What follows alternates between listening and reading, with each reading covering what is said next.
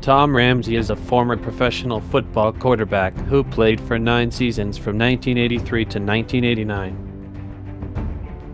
Ramsey was born on July 9, 1961 in Encino, California. In college, Ramsey played for the UCLA Bruins in Pasadena. Ramsey was drafted by the New England Patriots in 1983 in the 10th round as the 267th overall pick. Over nine seasons, Ramsey played for the Los Angeles Express, the Oakland Invaders, the New England Patriots, and the Indianapolis Colts.